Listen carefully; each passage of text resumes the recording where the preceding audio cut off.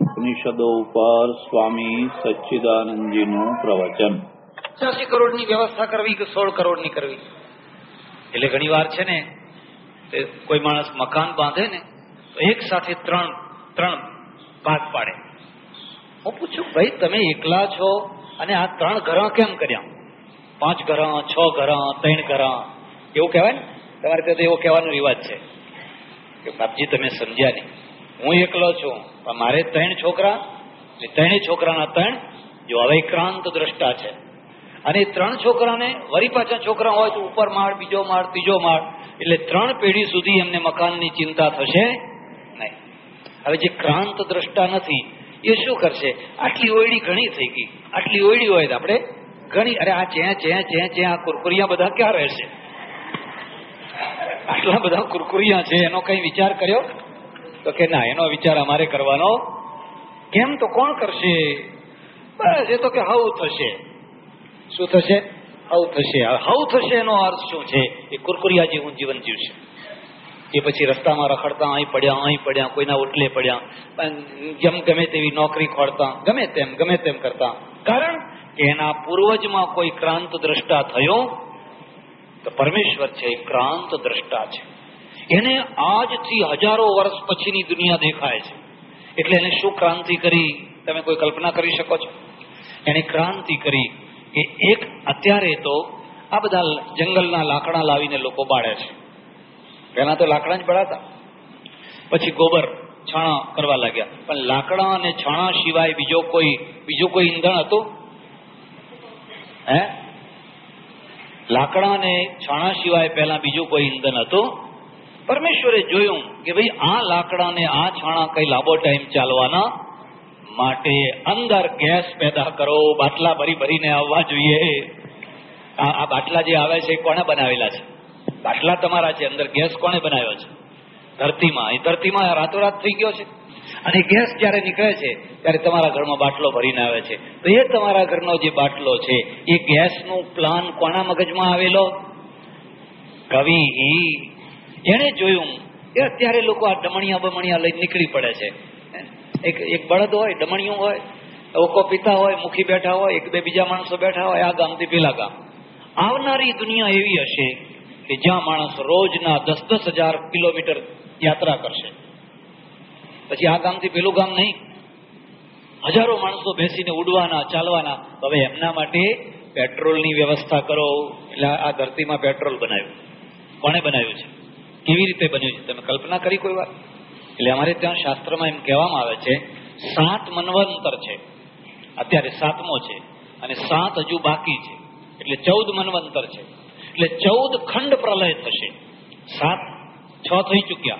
આ સાતમું ચાલે છે. ખંડ પ્રલયનો અર્થ શું થાય છે? કે ધરતીનો એક ભાગ પાણીમાં ડટી જાય. પાણી ફરી વળે. આખી ધરતી બધી નીચે ચાલી જાય. હવે પાણીમાં ડટાઈ જાય તો એની અંદર આવેલી વનસ્પતિ, માછલા જીવ જંતુઓ વગેરે વગેરે કરોડો ટન એમાં દટાઈ જાય. હવે દટાઈ ગયેલું છે, બસ, મશીન ચાલુ થઈ ગયું, ફેક્ટરીઓ ચાલુ થઈ ગઈ. એમાં પેટ્રોલ બનવાનું કામ ચાલુ થઈ ગયું, ગેસ બનવાનું કામ ચાલુ થઈ ગયું, સોનું બનવાનું કામ ચાલુ થઈ ગયું, ચાંદી બનવાનું કામ ચાલુ થઈ ગયું, ખનિજ, યુરેનિયમ બનવાનું કામ ચાલુ થઈ ગયું. કેમ? આ ખંડ પ્રલયે બધી ઉથલ પાથલ કરી, એટલે પછી લાખો વર્ષ પછી જ્યારે મનવંતર બદલાઈ જાય, ત્યારે પેલી જે ફેક્ટરી નીચે કામ કરી રહી છે, આપણને એની ખબર એ પાછી ઉપર આવે. અને આ આ બધું નકામું થઈ ગયેલું પાછું દટી જાય. અને ઉપર આવે ત્યારે માણસ એમાંથી પછી કોલસો કાઢે, પેટ્રોલ કાઢે, તાંબુ કાઢે, ફલાણું કાઢે ફલાણું કાઢે. કેમ? કે માણસને ભગવાન જીવાડવા માંગે છે, એટલે જો આ બધું એને ના બનાવ્યું હોત, ના મૂક્યું હોત, તો માણસ જીવી શક્યો હોત હજુ થોડી વધારે વાત કરો. પરમેશ્વર છે ને, તમે એની એક જ કોઈ વાત લઈ લેજો. દાખલા તરીકે વાયુ. વાયુ. પહેલા જે આપણા જૂના લોકો હતા, એમને વાયુના કેટલા કેટલા ભેદ છે બહુ ખબર નથી. બહુ ખ્યાલ નતો. એટલે કહી દીધું, વાયુ વાયુ વાયુ. અત્યારે બસો પ્રકારના વાયુ નીકળ્યા. કેટલી પ્રકારના? લગભગ બસો પ્રકારના. અને હજુ એ પૂરા થયા જુદા જાત જાતના એ જે વાયુ છે, એના વજન જુદા જુદા બનાવ્યા. એના વજન છે, જો બધા વાયુના એક સરખા વજન બનાવ્યા હોત તો. તમે જે પ્રાણવાયુ લો છો, એ અને કાર્બન ડાયોક્સાઇડ બહાર કાઢો છો, એ બેના વજન સરખા બનાવ્યા હોત તો તો ક્યારનાય મરી ગયા હોત. તો આપણે જીવી શક્યા હોત એ પ્રાણવાયુને ભારે બનાવ્યો અને કાર્બન ડાયોક્સાઇડને હલકો બનાવ્યો. એટલે હલકો બનાવ્યો એટલે શું? તમે અહીં બેઠા છો, નીચેથી પ્રાણવાયુ લો છો ને તમારો ઝેર છે એ વાર ઉપર જતું રહે છે. એ ઉપર જતું રહે છે. હવે એ ઉપર જતું રહે છે, એની જગ્યાએ જો બેયના વજન સરખા હોત, તો એ પાછું અહીં અહીં નહીં રહે. તમે મરી જાવ તમે જીવી ન શકો. કોણે આ કાર્બનને હલકો કોણે બનાવ્યો? પ્રાણવાયુને ભારે કોણે બનાવ્યો? હાઇડ્રોજનને હલકો કોણે બનાવ્યો? આ વાયુના વજન નાના મોટા હલકા ભારે કોણે કર્યા? ફરી પાછું એણે વિચાર કર્યો, નહીં નહીં, જગતની રચના કરી, પણ હજુય લોકો જીવી નહીં શકે. માટે મારે એમ કરવું જોઈએ કે આ જે માણસનું નીકળેલું ઝેર છે ને એ કોઈના માટે અમૃત બનાવી દો. કોઈના માટે અમૃત બનાવી દો. અને એનું નીકળેલું જે ઝેર છે, એ માણસ માટે અમૃત બનાવી દો. એટલે આ વૃક્ષોની પ્રક્રિયા બદલી નાખી. આ જે વૃક્ષો છે, એ બધો કાર્બન ચૂસી લે. તમારો જે ઝેર નીકળેલું છે, એ એમના માટે જીવન છે. વૈજ્ઞાનિકોએ પ્રયોગ કર્યો, જ્યાં ફેક્ટરીઓ હોય, જ્યાં કાર્બનનું પ્રમાણ વધારે હોય, ત્યાં ઝાડ બહુ જલ્દી પેદા થાય. તમારે અનુભવ કરવો હોય તો કરજો. જ્યાં બહુ કાર્બનનું પ્રમાણ હોય, ત્યાં તમે વૃક્ષો વાવો બહુ જલ્દી પેદા થઈ જશે, કારણ કે એના માટે એ અમૃત છે. હવે એ જે કાઢે છે, એ ઓક્સિજન કાઢે છે. અને ઓક્સિજન તમારા માટે જીવન છે. આ પદ્ધતિ કોણે ગોઠવી? આ બધી રચના કોણે કરી? જેને રચના કરી, એનું નામ ઉપનિષદ કે છે, કવિ એ તો કવિ છે, ક્રાંત કવિ એટલે કવિતા કરનારો નહીં. કવિ, કવિનો અર્થ એવો નહીં બેઠા બેઠા જોડકણા રચ્યા કરે, એવો નહીં.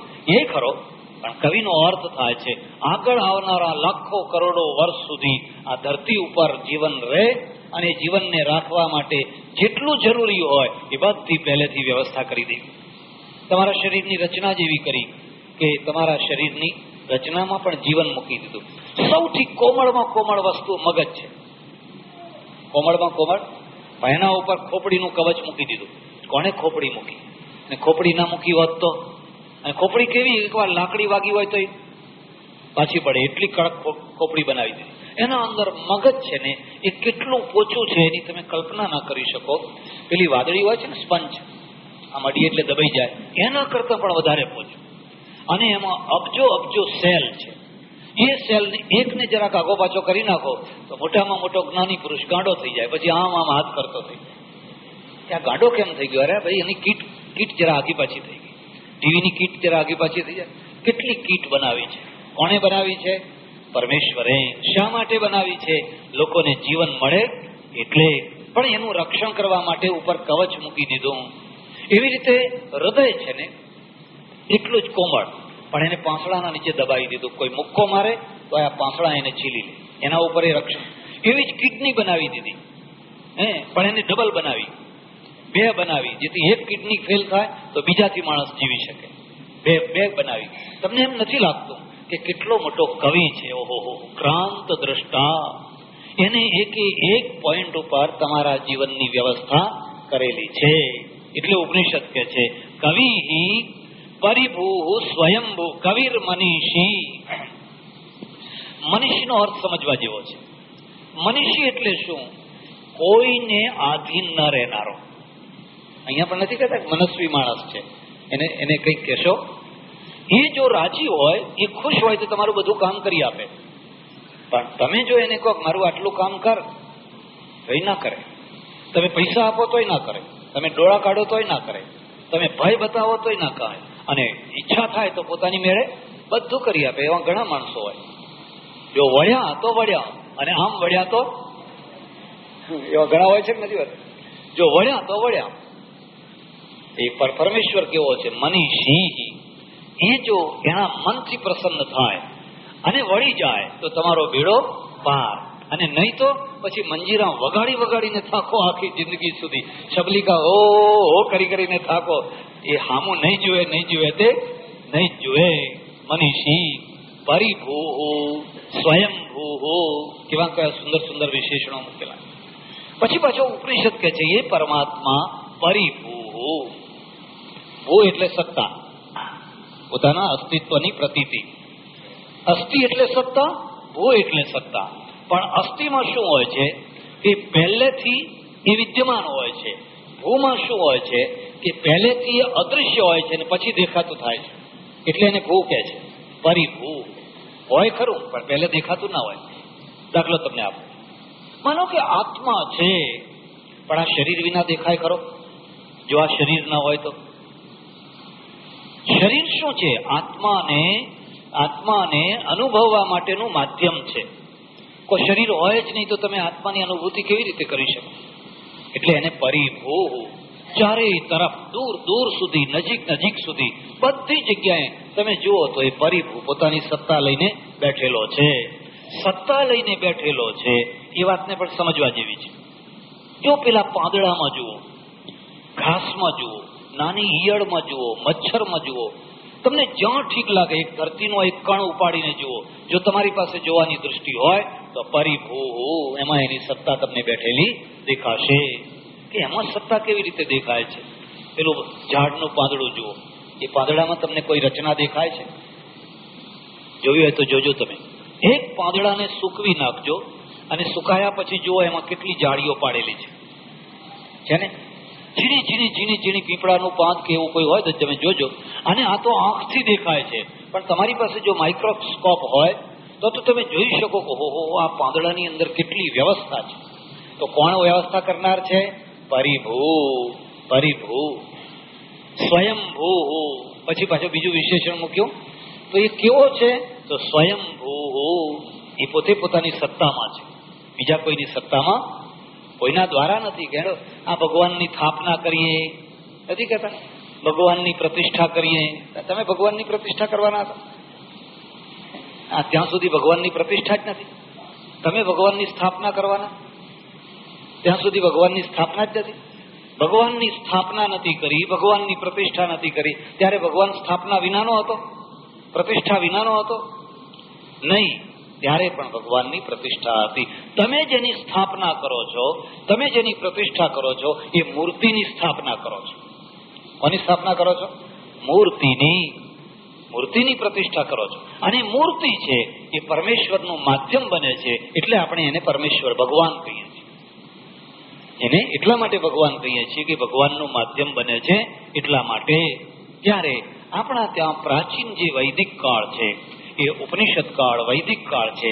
એ વૈદિક કાળની આ ખાસિયત છે, માણસને એક પરમેશ્વર તરફ, એક આત્મા તરફ, શુદ્ધ નિરંજન આત્મા તરફ લઈ જવું. એટલે સ્વયંભૂ પછી, આ જે બ્રહ્મ, આવો જે પરમાત્મા છે, એ પરમાત્મા સક્રિય છે કે નિષ્ક્રિય છે? કઈ કરે છે કે બેસી રહે છે? એટલે ઘણા લોકોએ કહ્યું ના, એ કઈ કામ બામ કરે. હવે એ કામ ના કરે તો આપણે શું કામ કરીએ? એટલે આપણે બધા આળસુ થઈ ગયા કે ભગવાન નિષ્ક્રિય છે.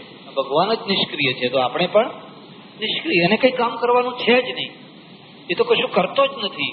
કે ના ના, સ્વયંભૂર યાથા તથ્યતોર્થાન વ્યદધાત શાશ્વતીભ્ય સમાભ્ય. એ ભાઈ, જે શાશ્વત કાળ છે, સનાતન કાળ છે, જે સનાતન વર્ષો છે, એના માધ્યમથી એને આબાદથી રચના કરી છે. શાશ્વતીભ્ય સમાપ્ય. યથા તથ્યતોર્થાન વ્યદધાત એને જે અર્થો બનાવ્યા, પદાર્થો બનાવ્યા, કેવા બનાવ્યા? યથા તથા જે પદાર્થ જેવો બનાવવો જોઈએ, એવો. હું તમને એક ખાસ ભલામણ કરું છું. આજે નહીં, બે દિવસ, ચાર દિવસ, છ દિવસ વિચાર કરીને પછી ભગવાનની ભૂલ ખોડી લાવજો. અત્યારે ઉતાવળમાં, પણ તમે શાંતિથી વિચાર કરજો. અને ભગવાનની ભૂલ ખોડી લાવજો. કે આ જો ભગવાને આમ કર્યું હોત ને, તો આ વધારે સારું થયું હોત. આમ કર્યું એ બરાબર કર્યું, એવી ભૂલ ખોડી લાવજો. શાંતિથી વિચાર કરીને લાવજો. કે તમે શું પાણીની ભૂલ કરશો? કે પાણી પ્રવાહી બનાવ્યું? એના કરતા પથરા જેવું પાણી બનાવ્યું હોત તો? આ માટલા ભરવા, એ ચોસલો બનાવ્યો હોત ચોસલો એક પાણીયારા ઉપર મૂકી દેવાનું. કે જો આમાં ટુકડા રાખવાના તો તમે કલ્પના કરી શકો છો. પૃથ્વીને નક્કર બનાવી, અગ્નિને આવી બનાવી, વાયુને આવો બનાવ્યો, ફલાણાને આવું બનાવ્યું. આ બધું બનાવ્યું, એમાં કંઈક ભૂલ ખોડી કાઢો. આટલી બધી બુદ્ધિ છે માણસ પાસે, ઓહો શું બુદ્ધિ નથી? તો આટલી બધી બુદ્ધિ છે, તો હવે તમે એની ભૂલ ખોડી કાઢો. અને ભૂલ ખોડીને એવી રચના બતાવો કે તમારી ભૂલ બીજો કોઈ ખોડી શકે? તમે કહી તો શકો, પણ પછી તમારી ભૂલ બીજો કોઈ કાઢી શકે? એવી ભૂલ ખોડી બતાવો. અને જો તમને એમ લાગે કે કોઈ ભૂલ નીકળતી કોઈ કહેતા કોઈ ભૂલ નીકળતી નથી. એટલે ઉપનિષદ કે છે યાથા તથ્યતોર્થાન વ્યદધાત, શાશ્વતીભ્ય સમાભ્ય.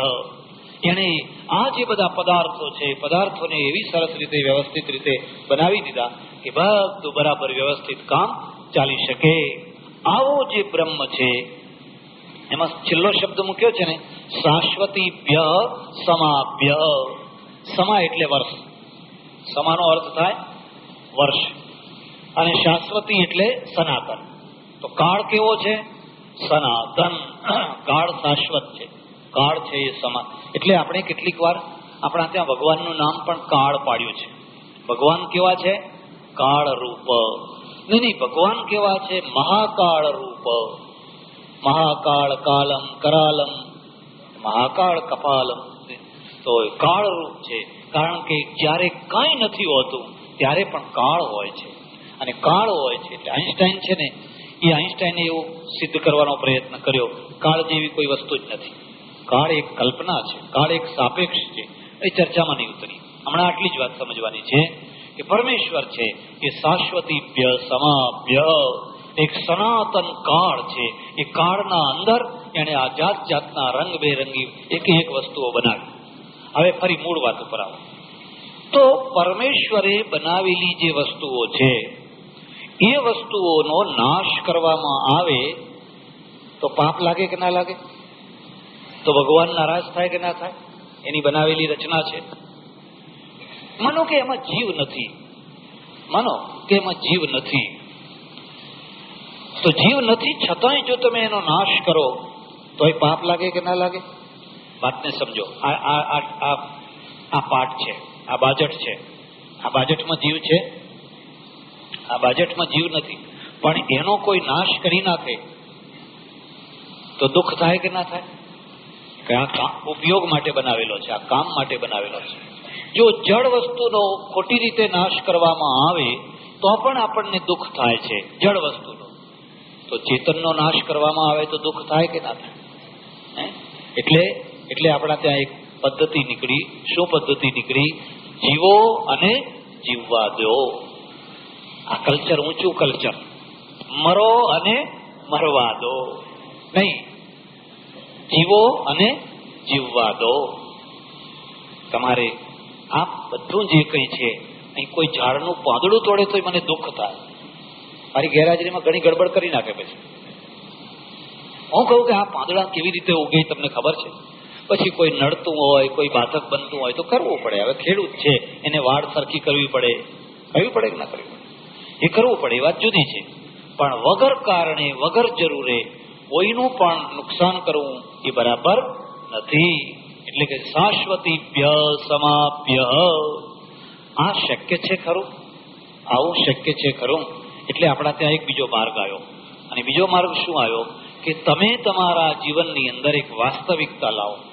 જ્યાં જરૂરી છે ત્યાં બરાબર છે. પણ જ્યાં જરૂરી નથી, ત્યાં બરાબર જેના વિના તમે ચલાવી શકો છો એ તો તો બરાબર છે. જેના વિના ચલાવી જ ન શકાતું હોય, તો તો તો તો ઠીક છે તમે કોઈ કરો, બરાબર છે. બેસી જાઓ. બેસી જાઓ. કેટલાને વિક્ષેપ? શાશ્વત. તો શાશ્વતી શાશ્વતીભ્ય સમાભ્ય. મુદ્દો સમજો. લાઇટ જવાથી પ્રવચન અધૂરું રહ્યું. આજે તારીખ એકવીસ આઠ ઓગણીસો ને એકાણું, દંતાલી આશ્રમમાં સ્વામી સચ્ચિદાનંદજીનું પ્રવચન ઉપનિષદો ઉપર.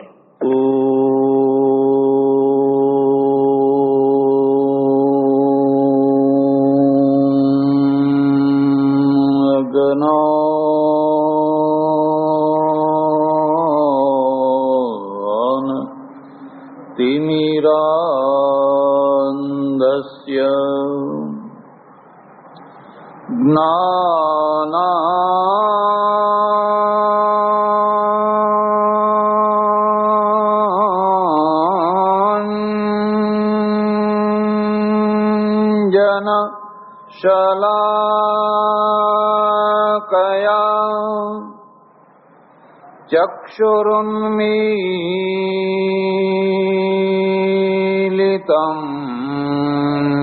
येन तस्मै श्रीगुरवे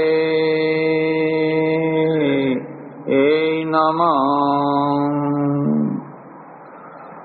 मूकम्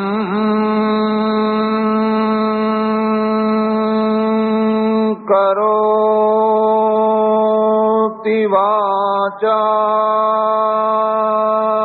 वाचालम् पङ्गो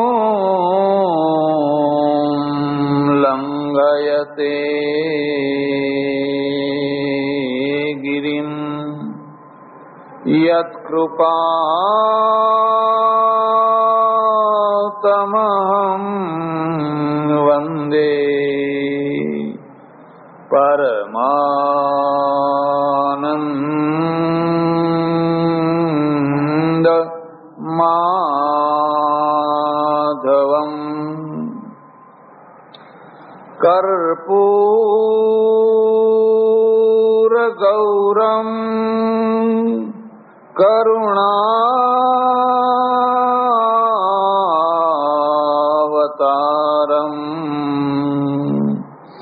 संसारसारम्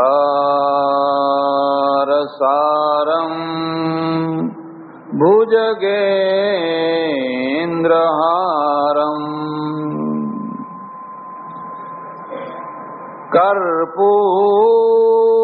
कर्पूरगौरम् करुणावतारम्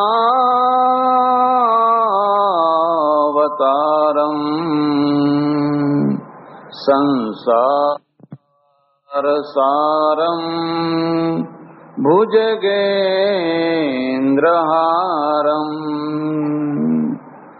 सदा वसन्तम् हृदयारविन्दे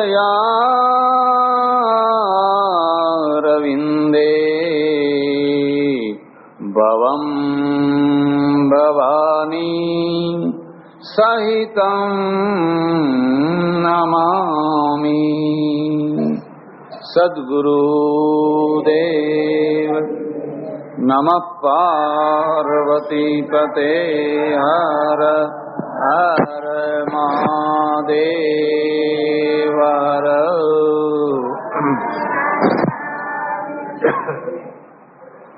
શબ્દોને માધ્યમ બનાવીને ધર્મની ચર્ચા કરવાનો પ્રયત્ન ચાલી રહ્યો છે. આગળ જે પાંચ, છ મંત્રો આવવાના છે, એ બધા મંત્રો એક જ અર્થને કહેનારા છે, એક જ વસ્તુને જુદી જુદી રીતે કહેનારા છે, અને મંત્રો બહુ મહત્વના છે. એટલે એ મંત્રોની વ્યાખ્યા શરૂ કરીએ, એના પહેલા થોડી ભૂમિકા સમજવા જેવી છે. ભૂમિકા શું છે? કે સંસાર છે, એ સંસારમાં ત્રણ તત્વો ગતિમાં ચાલી રહ્યા છે. એક તો સંસાર પોતે ગતિશીલ છે. બીજું, સંસારમાં રહેનારા જે માણસો છે એ માણસો પણ ગતિશીલ છે. અને સંસાર ગતિશીલ છે, સંસારમાં રહેનારા માણસો ગતિશીલ છે, એટલે સંસારમાં રહેનારા માણસોના પ્રશ્નો અને એની આવશ્યકતાઓ એ પણ ગતિશીલ છે. આ ત્રણેય ગતિ કરી રહ્યા છે. જો આ વાતને બરાબર સમજવામાં આવે, તો તમે સમજી શકશો કે બે હજાર વર્ષ પહેલા જે માણસ હતો એની જે આવશ્યકતા હતી એ અને આજના માણસની આવશ્યકતા સરખી છે ખરી? આજની આવશ્યકતા સરખી? તો હવે એને સરખી કરી શકાય એમ છે ખરું? નેવાના પાણીને મોભે ચડાવી શકાય. હવે એને સરખી કરી શકાય. ત્યારે શું છે? ત્યારે તમારે સંસારની ગતિ, એની સાથે માનવ જાતની ગતિ એની સાથે માનવ જાતના પ્રશ્નોની ગતિ માનવ જાતની આવશ્યકતાઓની ગતિ. આ ત્રણેયને જો તમે મેચ કરી શકો, આ ત્રણેયને જો તમે બરાબર યથાયોગ્ય ગોઠવી શકો, તો તમે યુગ દ્રષ્ટા તો તમે યુગને જાણનારા છો. પણ જો આ ત્રણેયનું બેલેન્સ તોડી નાખો, તો તમે યુગને ન્યાય આપી શકો. એટલે આના આધારે આપણે ત્યાં જુદા જુદા શબ્દો વિવાદ માટે નીકળ્યા. જે લોકો આ ગતિની સાથે ચાલે છે, પ્રશ્નોને અને આવશ્યકતાઓને સાથે ચલાવે છે, એમનું નામ છે પ્રગતિવાદી. લખી લેજો, એનું નામ છે પ્રગતિવાદી. જે લોકો સાથે નથી ચાલતા, પણ માત્ર ભૂતકાળમાં લઈ જવા માંગે છે. આજના પ્રશ્નો, આજની આવશ્યકતાઓને ભૂતકાળમાં લઈ જવા માંગે છે. એમનું નામ છે પ્રતિક્રિયાવાદી. શું છે? પ્રતિક્રિયાવાદી. દાખલા તરીકે, માનો કે ગામમાં લાઈટ ગઈ અને પાણીની ટાંકી ભરાઈ નહીં. હે? કારણ કે લાઈટ ગઈ, પાણીની ટાંકી ભરાઈ નથી. હવે હવે જે પ્રતિક્રિયાવાદી છે ને, એ શું કે છે કે આ લાઈટ આવીને આ ઉપાધિ થઈ. આ લાઇટ નથી ત્યારે આવી કઈ ઉપાધિ હતી? હવે તો તમારા હાથની વાત છે. લાઈટ કાઢી નાખો, ટાંકી કાઢી નાખો, દોરડા લઈ આવો, કુવામાં ખેંચવા માંડો, તમને કોણ ના પાડે છે? એ હંમેશા જ્યારે પણ કોઈ પ્રશ્ન, કોઈ આવશ્યકતાની ચર્ચા કરે છે, ત્યારે માત્ર જૂના કાળમાં લઈ જાય છે. ઘંટીવાળાએ ભાવ વધારી દીધો. લોટ કાઢી લે છે. એ પહેલા તો આવું કઈ હતું જ નહીં. એ જાતે દળવું જાતે દળવું અને જાતે દળીને ખાવું. એટલે નહીં ભાવ વધારાનો પ્રશ્ન કે નહીં લોટ કાઢી લેવા. લોટ બદલાવી નાખે છે. સારા ઘઉં હોય તો હલકા ઘઉં. આ બધા કોઈ પ્રશ્ન. આને શું કહેવાય? પ્રતિક્રિયાવાદી. એ હંમેશા જ્યારે પણ કોઈ પ્રશ્ન ઊભો થાય છે, તો એ પ્રશ્નનું સમાધાન ભૂતકાળથી કરે છે. હવે એક જે ગતિ વાળો છે, પ્રગતિ વાળો છે, એ શું કે છે કે લાઇટ ગઈ છે? આવી રીતે તો લાઇટ ઘણી વાર જાય હો. કોઈ વાર ગામમાં આગ લાગી હોય ને લાઇટ જાય તો? માટે આપણે એમ કરો કે વગર લાઈટે પણ જનરેટર રાખો. આપણું પોતાનું જનરેટર રાખો. જેથી લાઇટ ના હોય ત્યારે જનરેટર ચલાવીને પણ કામ કરી શકાય. તો હવે આ કયો વાદી છે? પ્રગતિવાદી. પેલો દોરડાવાદી છે. લાવો દોરડા. આ કયો છે? જનરેટર લાવો. ફલાણું લાવો. લાઈટ જાય એની વ્યવસ્થા કરો. આમ આ બે માર્ગ છે. બે માર્ગ. યાદ રાખજો. પ્રતિક્રિયાવાદ અને પ્રગતિવાદ. ઉપનિષદ કયા વાદમાં છે? આપણા ત્યાં ઉત્તરવર્તી કાળમાં પ્રતિક્રિયાવાદ આવ્યો ને એની છાયા આજ સુધી છે. જલ્દી નવી વસ્તુને લોકો સ્વીકાર કરી શકતા આ ટ્રેક્ટર, આ ખાતર આવ્યો અને બધાને કેન્સર થયું એમ કે. જો આ ખાતર ના આવ્યા હોત તો કેન્સર થવાનું. આ બધી દવાઓ છંટાઈ, એટલે બધું કેન્સર થયું. પહેલા ક્યાં આટલા બધા રોગ હતા? આ કયો વાત છે? પ્રતિક્રિયાવાદ. તો હવે ટ્રેક્ટર કાઢી નાખો. બળદ લાવો. જોઈ જુઓ કેવો અનુભવ થાય છે. તો હવે આ જે ખાતરો છે, એને ભલે ભાવ ચડાવ્યો આપણે એ ખાતર જોઈતું? તો શું વીઘામાં કેટલું પાકશે? પાંચ મણ. પેલું કેટલું પાકે? પચાસ મણ. જ્યારે આ દેશમાં તેત્રીસ કરોડની વસ્તી હતી, ત્યારે ભૂખે મરતી હતી. અમેરિકાથી અનાજ લાવવું પડતું. અને હવે જ્યારે પંચ્યાસી કરોડની વસ્તી થઈ, તો હવે બહારથી અનાજ લાવવું પડતું. કેમ નથી લાવવું પડતું? કારણ કે આ ખાતરના કારખાના થયા એટલે આ ટ્યુબવેલ થયા એટલે આ નહેરો બાંધ બંધાયા એટલે તો હવે કયો વાત છે? પ્રગતિવાદ. અને પેલા વાદમાં જો ચાલ્યા જાઓ, એ જ જૂનું હળ ને જૂનું બધું એનું એ મણ વાવો ને પાંચ મણ લો. હવે અઢીસેર વાવો ને પચાસ મણ લો. આટલી કોથળી જ લાવવાની. સર્ટિફાઈડ કરેલી છે ને? ખાસ સ્પેશિયલ તો એને કયો વાત કહેવાય? પ્રગતિવાદ. તો આ બે માર્ગો ચાલ્યા આવે છે. બે માર્ગો. એક પ્રગતિવાદ અને એક પ્રતિક્રિયાવાદ. નર્મદા બાંધ ના થવો જોઈએ. એક મુનિ મળ્યા મને. મને કે આ બધું તો બિલકુલ ના થવું જોઈએ. તમે કહું, પછી ભીખ જ માગવાની રહે. પછી તો આપણે અમેરિકાના અનાજ ઉપર જ જીવવાનું રહે. બીજો કઈ રસ્તો ખરો? આજે આજે તમારી ખુમારી છે તો કેમ છે? કારણ કે હવે અમેરિકાની સ્ટીમરોનું અનાજ આપણે ખાતા કેમ નથી ખાતા? આટલા ટ્યુબવેલ થયા, આટલા ખાતરોનો કારખાના થયા, આ બધું થયું, નવા નવા બિયારણ નીકળ્યા, એટલા માટે. તેને કયો વાત કહેવાય? પ્રગતિવાદ. અને પેલો કયો વાત કહેવાય? પ્રતિક્રિયાવાદ. જેવી રીતે ઉત્પન્ન ઉત્પાદનના ક્ષેત્રમાં વાદ છે, એવી જ રીતે સમાજના ક્ષેત્રમાં પણ પ્રગતિવાદ. અને પ્રતિક્રિયાવાદ. એમાં સમાજના ક્ષેત્રમાં પણ એ જ. ધર્મના ક્ષેત્રમાં પણ એ જ છે. ધર્મના ક્ષેત્રમાં પ્રગતિવાદ. પ્રગતિવાદ શું થયું? મંદિર બધાના માટે ખુલ્લું છે. આ મંદિરમાં કોઈના માટે પ્રતિબંધ? ભગવાન સૌના છે. આવો, તમે બધા. અહીં કોઈ નાત જાતનો ભેદ રહ્યો? તો આ કયો વાત કહેવાય? પ્રગતિવાદ.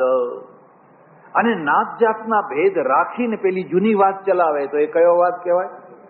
પહેલા ક્યાં બધાને આવવા દેવામાં આવતા હતા? પહેલા તો પવિત્ર પુરુષો જ અંદર જતા હતા. તો એ કયો વાત થયો?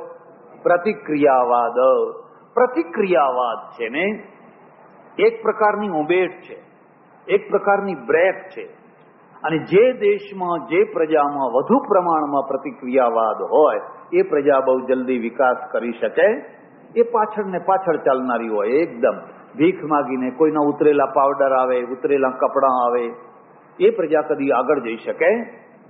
આ બે વાત સમજી લીધી. એટલે ધાર્મિક ક્ષેત્ર હોય, શિક્ષણનું ક્ષેત્ર હોય પેલા એમ કહેતા કે ભાઈ, અમારા જમાનામાં તો ભણતા, ત્યારે આંખ બોલાવતા, લેખા, પલાખા, બધું બોલાવતા કે ના બોલાવતા?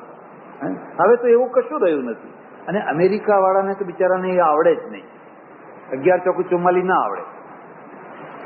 મને કહ્યું એક માણસ, મને કે આ લોકો તો હાવ મૂર્ખના જામ છે. કેમ કે અગિયાર ચોખ્ખું ચુમ્માલી એમને નથી આવડતું. મેં બરાબર છે, પણ એમને એ જાણવાની જરૂર નથી. એ અગિયાર ચોકુ ચુમ્માલી ન આવડતું હોવા છતાં ચંદ્રલોકમાં એ ગયા, શુક્રલોકમાં એ ગયા. બધા રોકેટો એ ઉડાડે છે. કેમ? કારણ કે એમની કેલ્ક્યુલેટર કેલ્ક્યુલેટર કાઢ્યું. બસ આમ આમ કરીને આમ કરો, એટલે ચુમ્માલીસ આવી જાય. એટલે એને જે વગર જતું મગજ કસવાનું હતું, એમાંથી એ ફ્રી થઈ એમાંથી આખી છૂટી થઈ એટલે તમારા આ આ હોલ છે, આ હોલની અંદર કેટલું ડાયમીટર છે, કેટલા ચોરસ ફૂટ છે, કેટલા ઘન ફૂટ છે, બસ આમ આમ કરો, એટલે ફટ દઈને હું ગયેલો, ત્યારે બે ગજ લઈ આવ્યો. બે ગજ. ઇલેક્ટ્રોનિક એવા ગજ કે તમે અહીંથી બટન દબાવીને પેલી દિવાલ આગળ એને ફોકસ કરો, એટલે ફટ દઈને કહી આપે કે કેટલા ફૂટ ને કેટલા ઇંચ છે. ફૂટપટ્ટીથી માપવાની જરૂર કોણે બનાવ્યું આ? આપણે હાથ માપ્યા કરશું, ક્યાં સુધી હાથથી માપશું? કેટલા હાથનું ધોતિયું છે? આપણે હાથ જ માપવાના. બધાના હાથ સરખા હોય. એટલું જ નહીં. પછી તમારે ઉપરનું માપવું હોય, આડું માપવું હોય, આમ કરવું હોય, બધું ફટફટ ફટફટ ફટફટ કરો, બધું થઈ જાય. તો હવે એ પ્રજા આગળ ચાલશે કે તમે આગળ ચાલશો? એ પ્રજા આગળ ચાલશે. એ પ્રજા આગળ ચાલશે. ત્યારે ઉપનિષદ શું માને છે? એ જ મંત્રો આગળ આવી રહ્યા છે. અને ઉપનિષદ છે ને, એ હંમેશા પ્રગતિવાદ અને અધ્યાત્મવાદનો સમન્વય માને છે.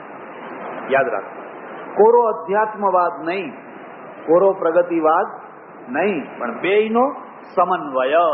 બેયનો સમન્વય શક્ય છે.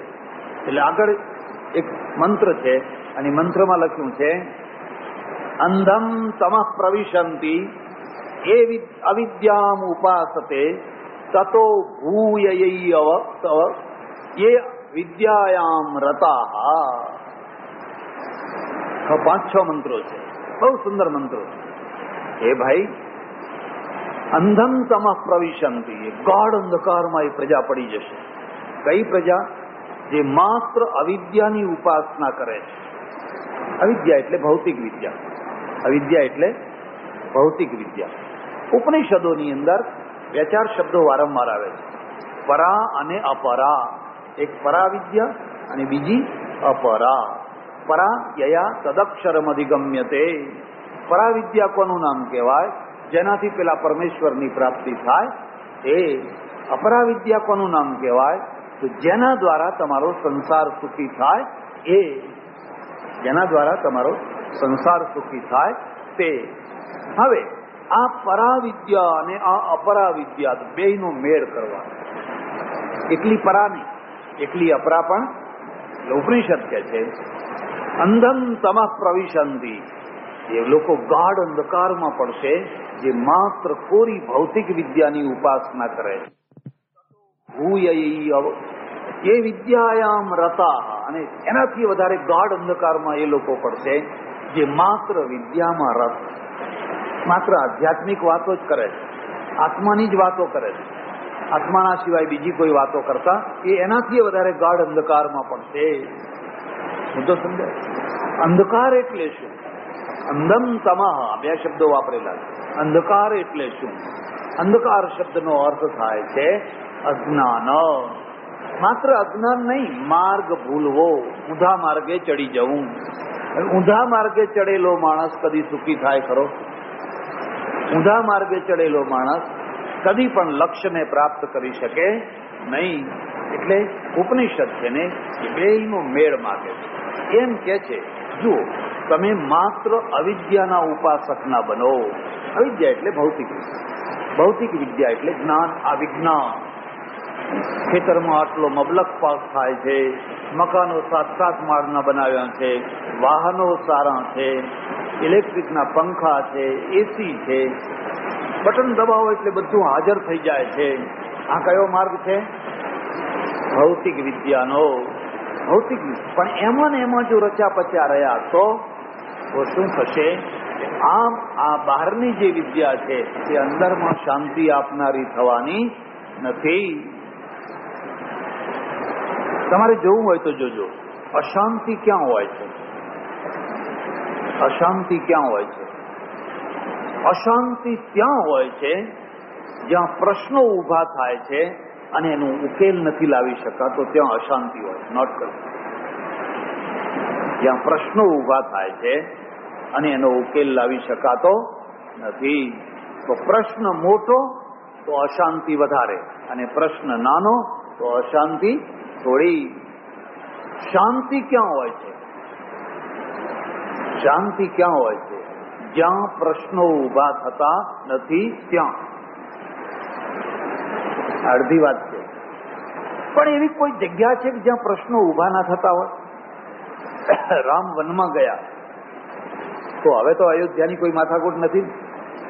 બધું રાજપાટ બધું છોડી દીધું. પ્રશ્નો બંધ પડ્યા. એવી કોઈ જગ્યા છે કે જ્યાં પ્રશ્નો ઊભા ના થતા હોય? તમે અનુભવ કરો. ચાલો ઋષિકેશ જાઓ, હરિદ્વાર જાઓ, હિમાલય જાઓ. તમારી જ્યાં ઈચ્છા થાય ત્યાં જાઓ. તમને એમ લાગે છે કે હવે કોઈ પ્રશ્ન નહીં આવે? કોઈ આશ્રમમાં જઈને રહો? ગરમ પાણી નથી મળતું. લો, પહેલો હવારમાં જ પ્રશ્ન ઊભો થયો. ઠંડા પાણીએ નાવાની ટેવ નથી ગરમ પાણી થતું નથી. હવે શું કરવું? જાઓ ઘેર પાછા. નહીં? તો આ લાકડા પડ્યા, આ ચૂલો પડ્યો. પણ કેળ વાંકી કરવાનું ગમતું? પ્રશ્ન ઊભો થયો નથી?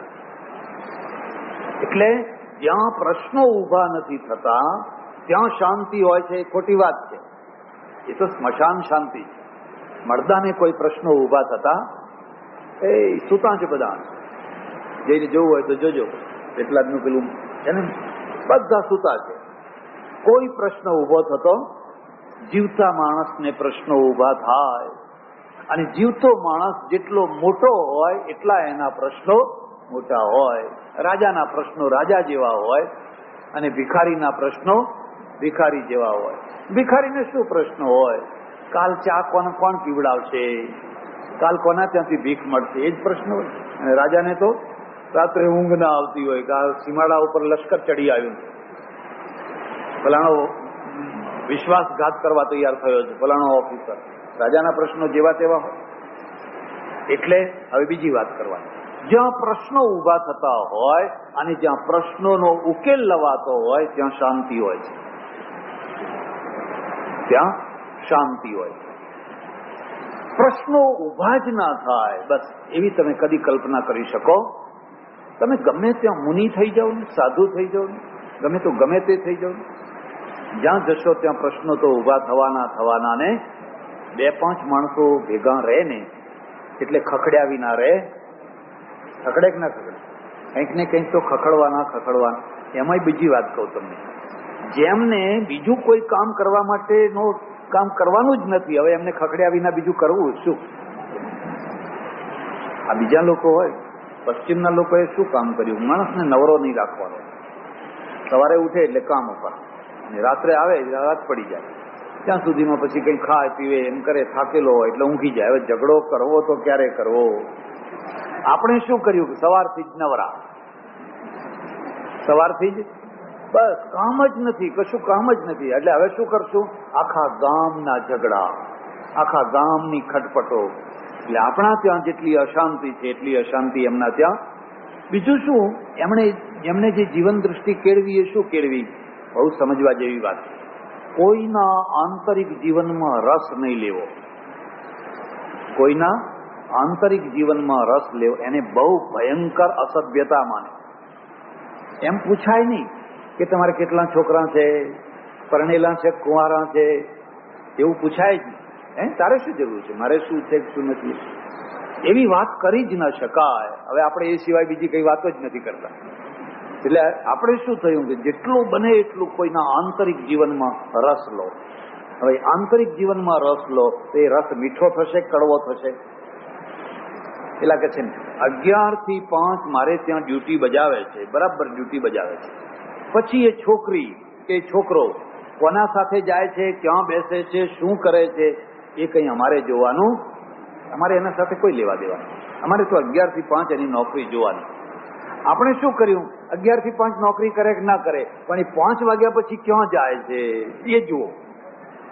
કોના સ્કૂટર ઉપર બેસીને આવે છે? એ જુઓ. એટલે અશાંતિ ક્યાં થઈ વધારે? આપણે ત્યાં. આપણે ત્યાંથી. કેમ આપણે ત્યાં વધારે થઈ? કારણ કે આપણે જે જીવન પદ્ધતિ વિકસાવી, એ કોઈના આંતરિક જીવનમાં વધુ પડતી દખલગીરી કરવાના કારણે. પેલી પ્રજા શું કે છે? કે મારા સ્વાતંત્ર્યમાં હું કોઈની દખલગીરી સહન કરીશ, મારી ડ્યુટી બજાવીશ, પણ મારે, મારી જે સ્વાધીનતા છે, એમાં હું કોઈની દખલગીરી સહન કરવાનો આપણે શું છે? કે નહીં, તારું સ્વાતંત્ર્ય છે જ નહીં, અમારી ઈચ્છા પ્રમાણે જ તારે કયું શાક ખાવું, ક્યારે ખાવું, ક્યારે ઊંઘવું, એ બધું અમારે નક્કી કરવાનું. એટલે આ બે મુદ્દાને સમજી લીધું. પ્રશ્નો હોય જ નહીં, એ તો મળદા છે. પ્રશ્નો હોય, અને એનો ઉકેલ ના લાવી શકાતો હોય, એ દુર્બળ માણસો છે. કાં તો તમારી ભૂલ થઈ છે, કે તમારી શક્તિ કરતા તમે વધારે ભાર ઉંચકી લીધો છે, અને હવે તમે એને ઉકેલ કરી શકતા, એ તમારી તમારી ભૂલ છે. આપણી જવાબદારી આ નહીં, ભાઈ, મારાથી એ નહીં થઈ શકે. એટલે છૂટ્યા તમે. હવે તમારું તમારું, તમારી ક્ષમતા છે, મણ ઉપાડવાની છે. અને તમે દસ મણનો વજન ઉપાડીને ફરો છો, તો તમને અશાંતિ થશે કે નહીં થાય? તમને અશાંતિ થશે. તમારી શક્તિ એક મણ વજન ઉપાડવાની છે, અને તમે પોણો મણ વજન ઉપાડ્યો છે, તો હવે તમે રમતા રમતા એ વજન ઉપાડશો કે નહીં ઉપાડો એટલે શાંતિ ક્યાં હોય છે? જ્યાં પ્રશ્નો હોય છે અને પ્રશ્નોને ઉકેલવાની તાકાત હોય છે, ક્ષમતા હોય છે. તો હવે આ જે તાકાત છે ને, એનું નામ પુરુષાર્થ છે, નોંધ કરો. એનું નામ છે પુરુષાર્થ. એ પુરુષાર્થ છે, એનું નામ છે સાધના. એ જીવનની સાધના છે. એનાથી ભાગી છૂટવું એનું નામ છે પલાયનવાદ. એનું નામ છે પલાયનવાદ. પ્રગતિવાદ. પ્રતિક્રિયાવાદ અને પલાયનવાદ. પ્રતિક્રિયાવાદ ભૂતકાળમાં લઈ જશે તમને. અને પ્રગતિવાદ તમને ભવિષ્યમાં ઉજ્જવળ જગ્યાએ લઈ જશે. અને પલાયનવાદ શું કરશે? ના ભૂતકાળમાં, ના ભવિષ્યમાં, બસ ભાગી છૂટશે. બસ ભાગી છૂટશે. એટલે ઉપનિષદ શું છે? ઉપનિષદ છે, એ પ્રગતિવાદ. એ પ્રગતિવાદ. માનો. માનો કે તમારા ઘર ઉપર હુમલો થવાનો છે. તમને ખબર પડી ગઈ. આજ રાત્રે મારા ઘર ઉપર હુમલો થવાનો છે. અને હુમલો થશે તો કદાચ એક બે જીવોને હાનિ પહોંચાડી દે. કંઈ કહેવાય નહીં. અરાજકતા વધી છે કે નથી વધી? પહેલાના જેવી હવે અરાજકતા ખૂબ વધી ગઈ છે. હવે તમને ખબર પડી કે મારે ઘરમાં હુમલો થવાનો છે. તો તમે શું કરશો? શું કરશો?